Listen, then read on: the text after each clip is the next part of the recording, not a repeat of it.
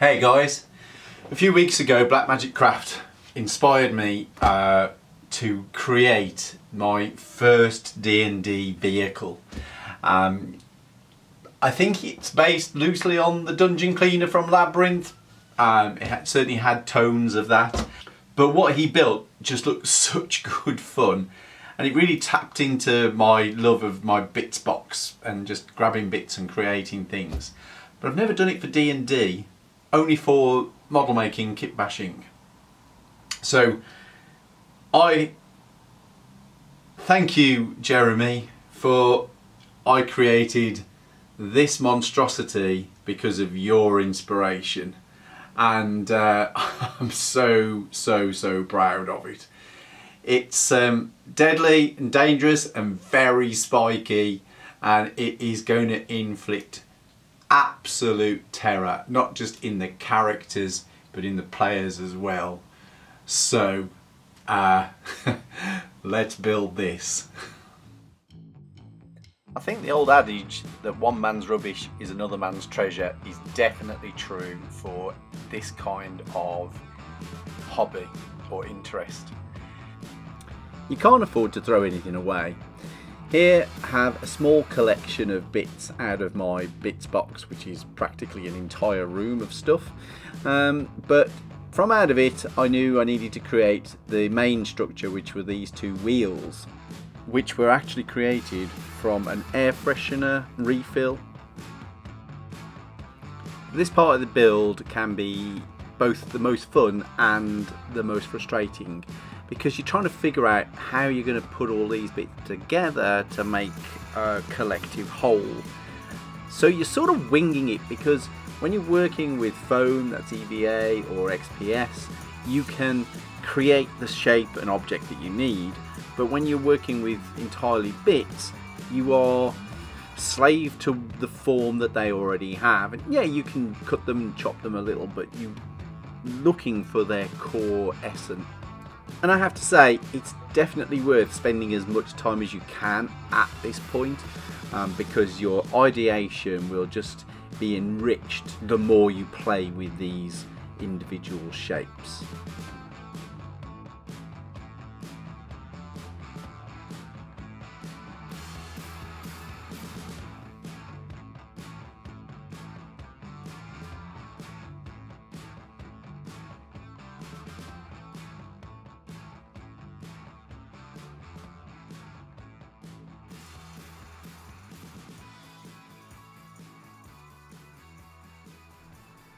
Once my idea was kind of born inside my head as to what the major components were going to go together like, then I need to start fabricating the elements that will make the structure of this vehicle hold together.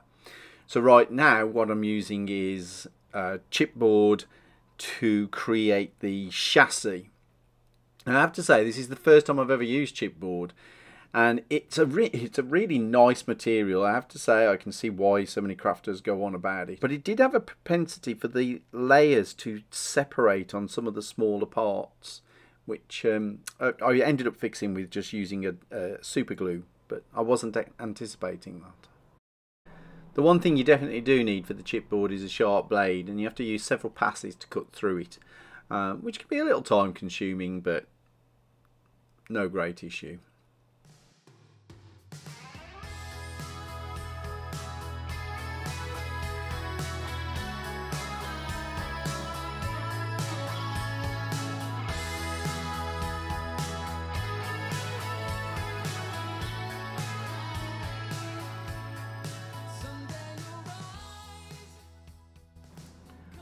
One of the things that you really have to consider when you are kit bashing this way is the number of dry runs you need to do. It's quite critical that you don't glue everything together until you absolutely have to.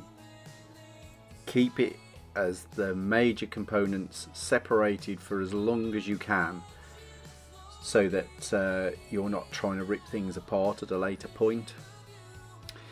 So the chassis that I was building uh, out of the chipboard needed to be wider so I added these spacers and then glued two identical pieces together so that I've got that chassis uh, form that I'm after. I like this because it's very edgy and angular and it makes me think of evil and bad people and um, the spikes go very well with, with that sort of uh, shape language. So the process of design isn't only at the beginning, it kind of evolves as you form these major structures and you begin to think about the smaller shapes and the smaller details that will fit onto those structures. One of the major considerations as well for these kind of plastics that you get on these bottles is their surface doesn't take glue and paint very well. Um, so you need to sand pretty much everything. Just a sandpaper and a light rubbing will give you the desired tooth for future gluing and painting.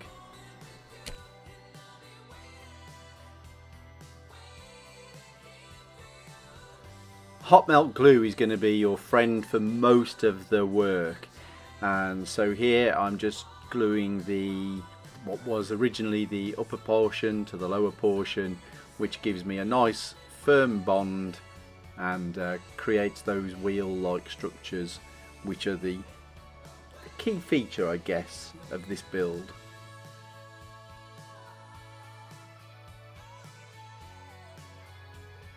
There were a variety of ways I could have dealt with this chassis and uh, some of the finer details on it but I decided I would just use a piece of white craft card uh, wrap it around the edge to seal the gap or to close the gap and uh, that worked out quite well. Just adhered that with PVA, uh, it was easy to do for this.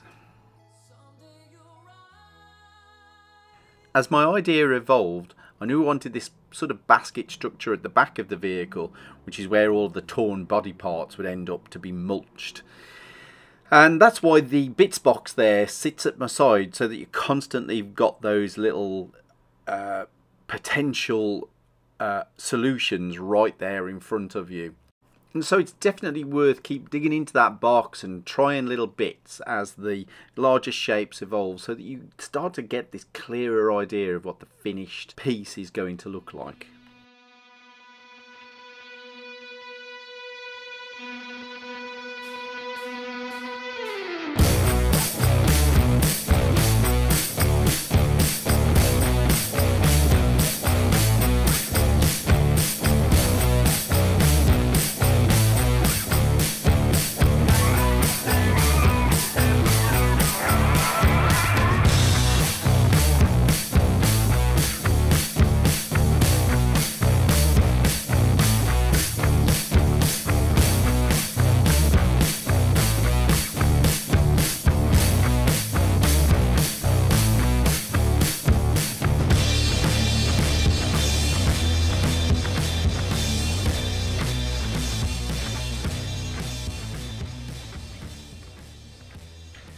Legs for this vehicle were, for me, a very critical part. I wanted them to be large and dominant and look very visceral. So with the major structure laid out there in front of me, I just started ideating with a pencil onto some white card so that I could just get a feel for what I might want these to look like. Now, in the final build they do obviously change ever so slightly but this just allowed me to dry run with uh, an easy material before committing to the actual creation of these legs. So um, I wanted them to be quite mechanical in form so they're going to follow a similar build structure to the chassis uh, with uh, but with more embellishment I wanted there to be a pivot point, so I cut the white piece of card into two and then I used two halves, the templates cut from chipboard. This material was really, really well suited to the creation of these, these mechanical parts and this really sold the idea of the future use of chipboard in my uh, builds.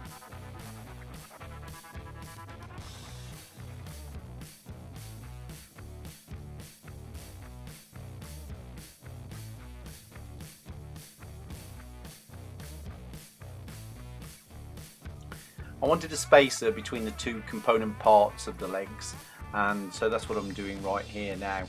But this is where I suffered the most problem with the separation of the veneers of the chipboard itself. So uh, here you can see I'm trying to fix that by just putting uh, hot melt glue as a bead all the way around. But I had to go back in and super glue it a couple of times after that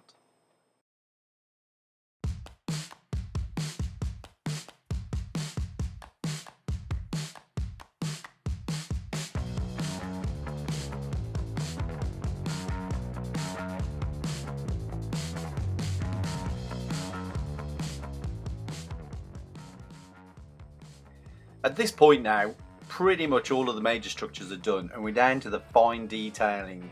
So I'm using white card uh, cut into strips and these are going to add small metallic paneling to the to the wheels and much of the uh, embellishments of this stage are attached using super glue uh, which adheres very well to the card and the plastic.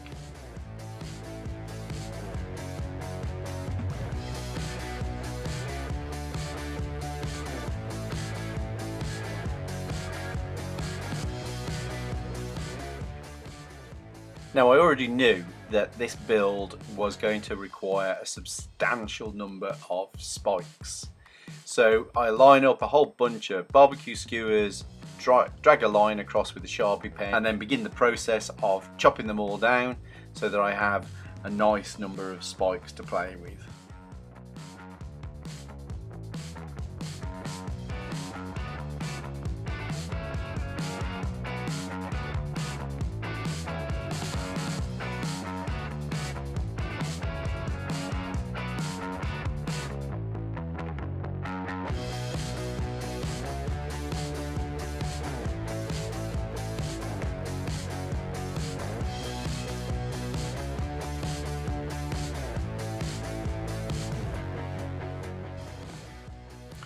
Once all the spikes were cut, I took a piece of sandpaper and sanded all of the nub ends so that they were nice and flat for attaching to the various parts of the vehicle.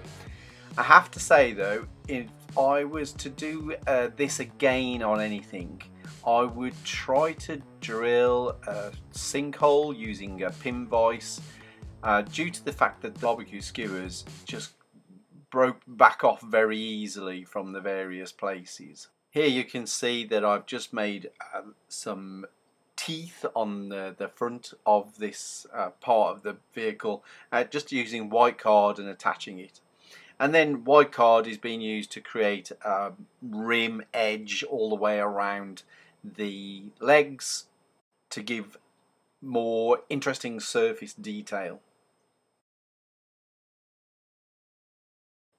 And then the white card is attached to the chipboard using a very thin layer of PVA uh, which bonds it really nicely.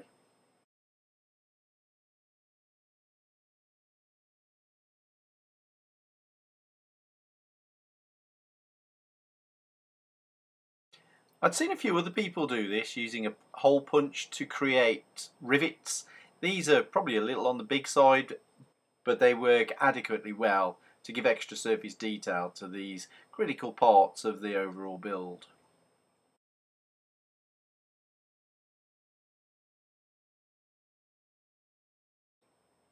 And here they are all finished up mostly. They don't look as gruesome yet as they will, but uh, that's now down to the paint.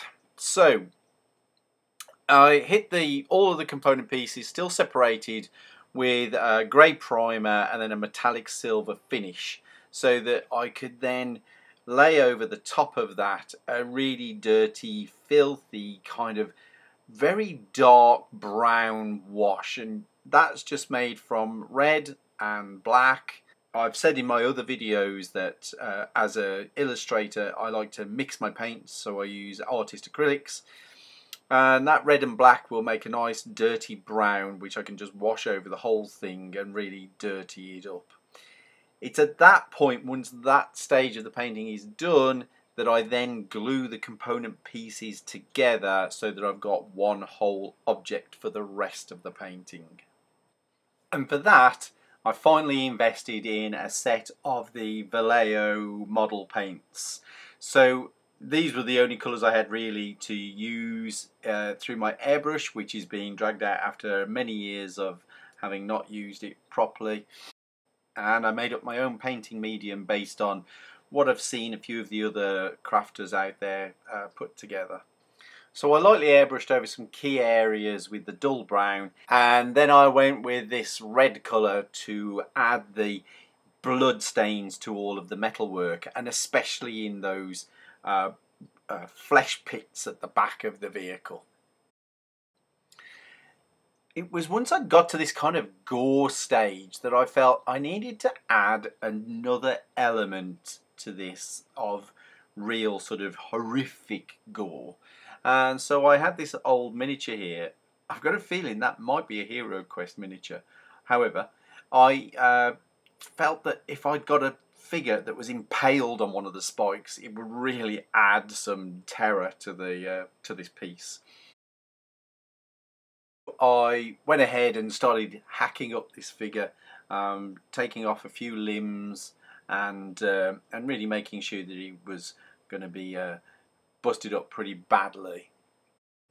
To have him firmly impaled on the spike, I decided to just drill straight through his chest with the Dremel here and that did the job pretty perfectly. It also left behind this sort of a bit of a residual uh, plastic shavings and uh, because they were just automatically already red I felt that I could use those for an added bit of uh, horror. And so with a little bit of uh, super glue and a barbecue skewer I was able to mould these sort of tendons that stretched out to his torn off hand. It was pretty grim and it made me smile a lot. I was well pleased.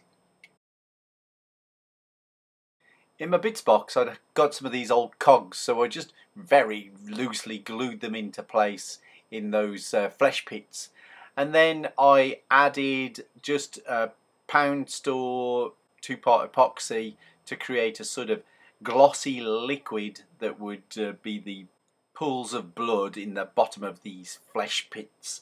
I also wanted to add some torn skin and so this uh, kitchen roll just pushed in there and moved around um, really went a ragged coarse looking texture uh, which I felt worked out really great for that um, skin that uh, was flayed from the bodies of this vehicle's victims.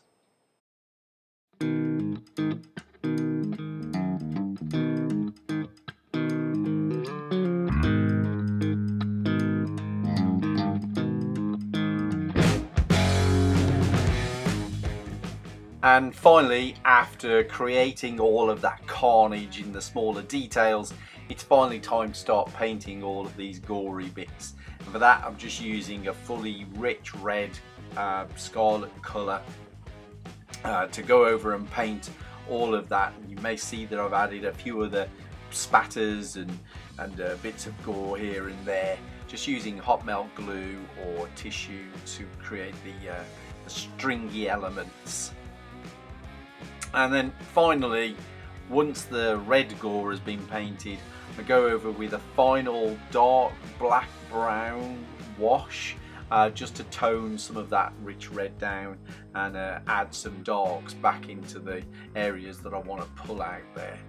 I did go back in and use some dry brushing with a metallic silver just to give some real definition to the edges well guys, there you go, that's the end of the video and uh, these are the beauty shots and I really hope that you're enjoying these tutorials I'm bringing you. I'm having an absolute blast making them and they're going to carry on no matter what. But if you did want to help me out, hit that like button, subscribe, hit the notifications bell and if you really want to go the extra mile, come over to my Patreon page and uh, and just sign up any tier that would be amazing. And uh, you'll get to be able to download the uh, these videos and keep them for uh, for yourself as well as all the other stuff that I do as an actual fantasy artist. So uh, I will look forward to seeing you on wherever. And uh, catch you later guys next week.